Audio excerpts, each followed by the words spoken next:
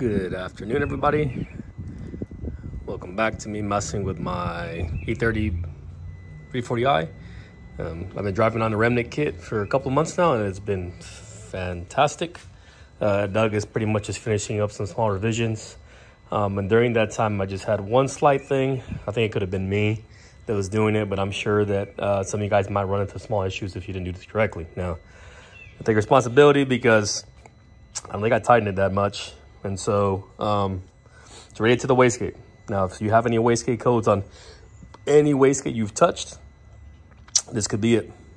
Now, if you notice on the factory wastegate, you would have some like wax or paint marks on the nuts.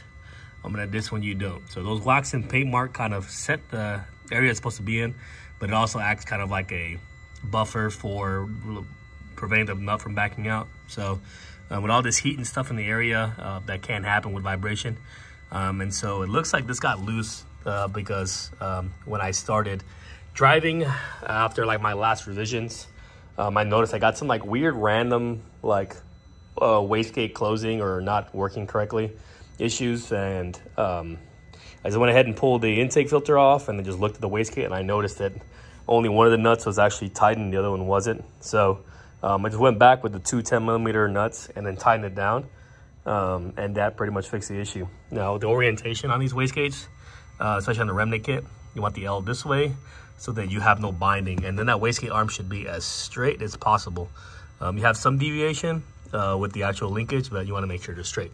And I'm going to show you the actual tool that I use to verify that this is working correctly. Now, this tool right here is pretty nice. This is the Autel. Uh, there's a lot of other Chinese tools like this. I prefer this over like the Snap-on Solus and things like that. It's just up to date. They're much cheaper to uh, to get a hold of. And you can find one on Amazon for probably less than $400.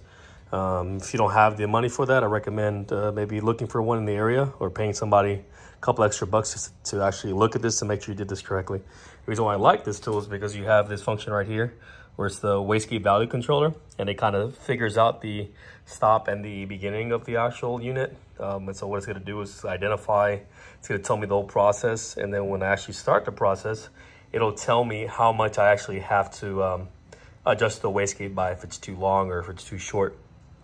So if I continue, um, you'll probably actually hear the actual adjustment that's occurring. And what it's doing is actually checking the actual distance for the wastegate itself. It'll actually move. Now when I do that, um, it'll go through the whole process and I'll actually hear the wastegate kind of moving back and forth and making adjustments. And then it'll tell me that the, the test was completed.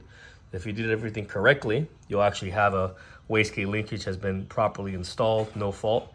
Uh, that means that the wastegate is within spec. It's not too long, it's not too short.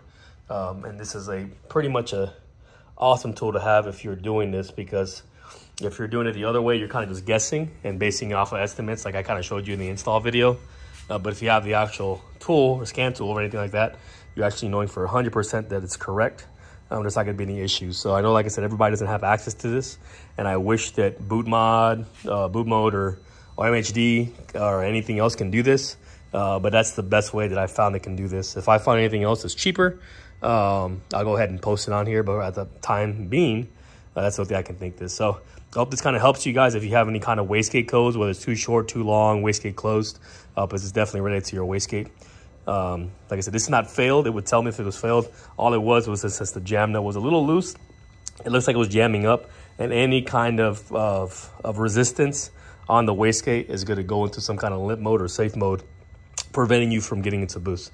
So if you have any questions, please let me know, and thank you for watching.